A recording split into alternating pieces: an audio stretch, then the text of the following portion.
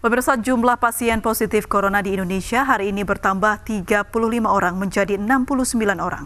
Empat di antaranya meninggal dunia.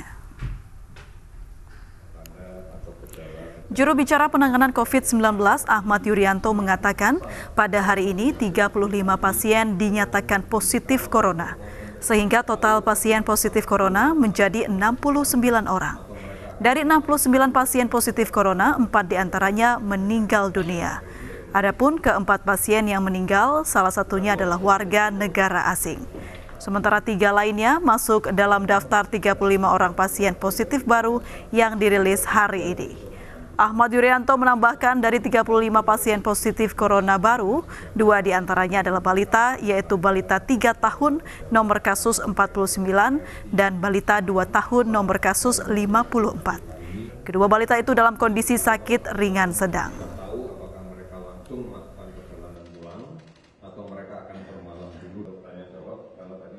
Yang pertama, kita identifikasi sebagai kasus nomor 35, perempuan 57 tahun, masuk ke rumah sakit sudah dalam keadaan menggunakan eh, ventilator. Namun belum dilakukan pemeriksaan eh, COVID-nya. Kemudian perburukan menjadi cepat, hari itu juga meninggal.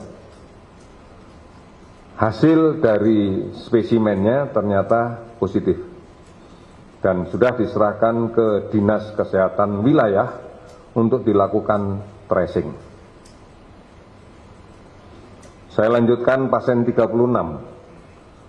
Hal yang sama juga terjadi pasien 36 perempuan 37 tahun masuk ke rumah sakit, dua-duanya di RSPI, masuk ke rumah sakit dengan menggunakan ventilator. Mengalami perburukan dengan cepat kemudian meninggal. Setelah kita lakukan pemeriksaan spesimen ternyata positif.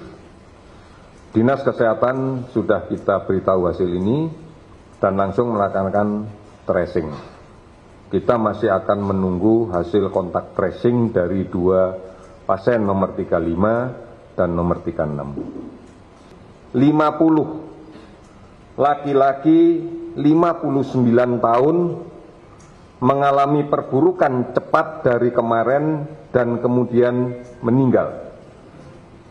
Positif coronavirus disease 19.